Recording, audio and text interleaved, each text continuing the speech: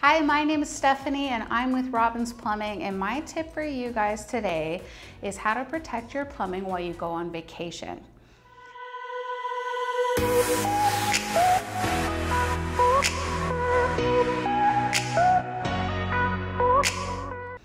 So vacation is supposed to be a time where we're stress-free, but we can't be that way if we're worried about our homes. And I can't tell you how many times we get called a year from neighbors that homes are flooding. Water's running out the garage, it's running out the front door, it's going down the street. And my hope for you today is that that isn't going to be your home after you listen to these tips. So I have some good, better, and best scenarios for you today.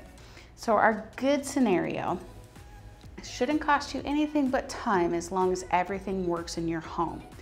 So I want you to perform these things at least a week before you're planned to go on vacation in case your plumbing doesn't work. So, and that's simply shutting off all of the fixtures in your home. So this includes your bathroom faucets, your kitchen faucets, your washing machine, your ice maker, and your water heater. So we wanna make sure those valves work because if they don't work, you wanna have plenty of time for us to come out and fix them. So the pros and cons of this scenario, while you're able to shut off that fixture, which can stop floods from burst supply lines and the fixture itself leaking, it's not gonna shut off the water to your home. So if you have a leak underground in the wall or in the ceiling, it's not shutting off those water sources. But a lot of floods are caused from burst supply lines or even toilets that are running while you're gone. So we wanna show you how to shut those things off if that's your good scenario and you're only gonna be gone a couple of days, it's usually fine. So there is a valve underneath all of your sinks. So that's your bathroom and your kitchen sink. There's one for the hot side and one for the cold side. Those are called angle stops. And you wanna turn them to the right. You wanna test it and make sure no water's coming out of that faucet. So this eliminates the possibility of a burst supply line. And a supply line is what's the line between that angle stop, that shutoff valve that feeds the fixture. And there are two really major leading causes of floods in Arizona, and they're burst supply lines and they're burst washing machine hoses. So we'll get to that one. So we wanna eliminate that possibility. As well as if the faucet's leaking while you're gone, you don't want that leaking either.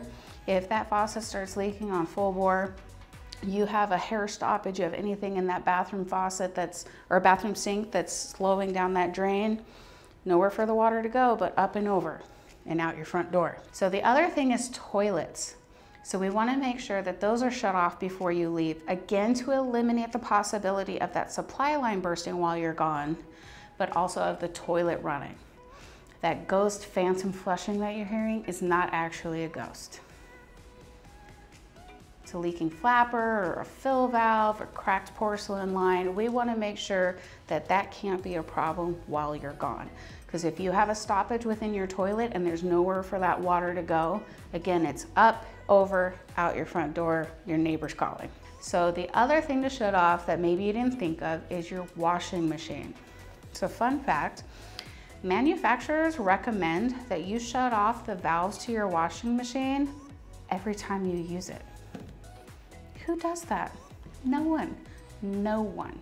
But washing machine hoses are one of the leading causes of floods in Phoenix. Those rubber hoses, over time, they're on constant pressure, hot and cold. Bam, you have a flood. So you should have shut off valves, both hot and cold for your washing machine.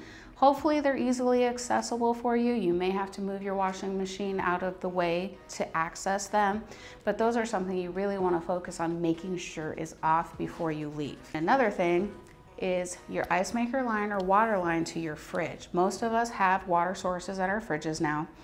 And we wanna make sure that's off. We wanna make sure that that appliance can't leak while we're gone. And we wanna make sure that water line can't burst while we're gone. So that's shutting off that valve to your ice maker, to that water line. So you either have a valve underneath your kitchen sink for that, or you have one behind your refrigerator that's in the wall, typically low, that looks like a valve underneath there. And you wanna make sure that's off before you're gone. The last one that you're gonna individually shut off is your water heater. I cannot tell you how many times I've received the call, oh my gosh, there's water pouring out of my neighbor's garage. It's all the time. And it's from the water heater. Tank style water heaters over time, it's inevitable. They are going to crack and they are going to leak. There is only one on the market that claims not to, and that's a plastic water heater called a Marathon. But other than that, bam, those water heaters are going to leak. So we wanna make sure the water is off to your water heater. So at that point, at least you're only dealing with the capacity that your tank holds, whether that's 40 gallons, very commonly 50 gallons, 65 gallons, 80 gallons, mine's an 80 gallon. Uh, and then you're only dealing with that gallon capacity and the damage that that can cause rather than when the tank ruptures and let's say you don't have a water heater pan, there's nothing to capture that water. So we want to make sure that that water is shut off so you don't have hundreds of gallons of water to deal with. Let's say even more because a neighbor didn't call and it just sat hot water. Whew, that's a hot mess. So we wanna make sure that those things are taken care of. So the con to this, like I said, is it's not gonna shut off the water that's inside your walls, inside your ceiling, and under your floor. So our better option is to shut off the water to your house. And if you're in a single family dwelling, it's different if you're in a condo or an apartment, but if you're in a single family dwelling, typically that valve to shut off the water to your home is at the front of your house and it's right underneath where you connect your garden hose. And it's either gonna have a circular handle or a lever handle. And again, you wanna make sure this works with plenty of time before you're going on vacation. In case that valve doesn't work, you have plenty of time without stress to have us come out and replace that but that's gonna shut off the water to everything in your home. So it's gonna save you a bunch of time because you're not going under every fixture, coming back from vacation, turning all of those on. The downfall to this, the con of this is if you have irrigation or a pool and you're gonna be gone for more than a couple of days, especially in our hot Phoenix summer, you don't want your irrigation to dry up and you don't want your pool to dry up. So when you shut off the water to your home, those things are also shut off. So a solution to this that we can certainly accomplish for you is what's called a vacation valve. So that's us isolating your home from your irrigation so you can shut off your home but not your irrigation. That's, that's something we can certainly give you a consultation for, let you know what's involved. It doesn't always mean that we can isolate the pool easily. So that's really gonna depend on how everything is plumbed in your home. Our best solution, and this one actually really excites me. Not that I'm someone who ever gets to go on vacation, but if I did, I would have this hands down, no question. So it's our smart shut off valve. So this thing is very cool. So it's gonna install on your home and it's going to sense if there's a possible leak and it's going to alert you on your phone. And you can tell your phone, yes, this is a leak, shut my water off right from your phone no questions asked. Of course, then you want to get us called out and make sure that there's not a problem, that we get your irrigation on, we get your pool on. But if it senses anything, let's say that the irrigation turns on, you know it's the irrigation, and you're like, no, let's just let it run. But you have control of your plumbing from anywhere in the world from a smart app, because this device is that cool. So that's our best solution. And if you're someone who likes to go out of town, you're a snowbird, you like to travel the world, and you don't want to stress about uh, flooding with your plumbing, this is definitely a perfect solution.